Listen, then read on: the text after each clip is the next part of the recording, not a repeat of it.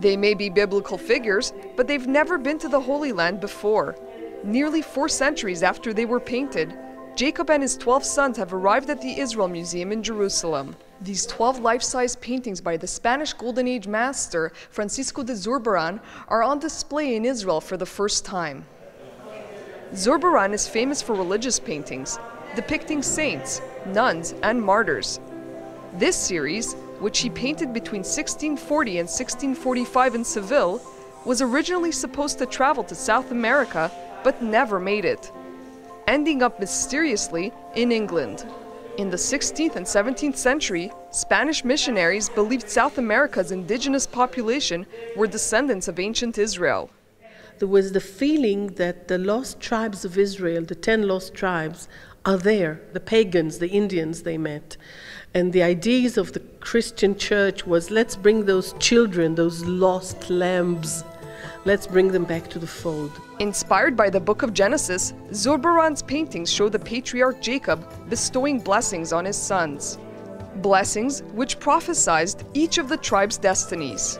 Judah, who would establish the royal dynasty, is portrayed in magnificent clothing, holding a scepter and wearing a crown. Levi, Joseph, Dan or Asher. Each patriarch is meticulously painted, carrying symbols of their unique status. Until this year, Zurbarán's famous series had never been on display outside of Auckland Castle in England.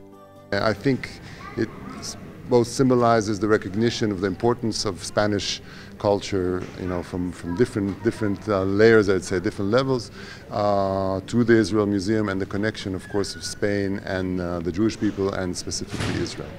The exhibition was made possible by important donors, including the Fundación Hispano Judía, or Hispanic Jewish Foundation in Spain. And our goal is to bring together the Spanish speaking worlds and the Jewish world. So we have a very important project, uh, which is going to be a world class museum, Jewish museum in Madrid. From Spain to England and finally to Israel. A rare opportunity to discover a Spanish master.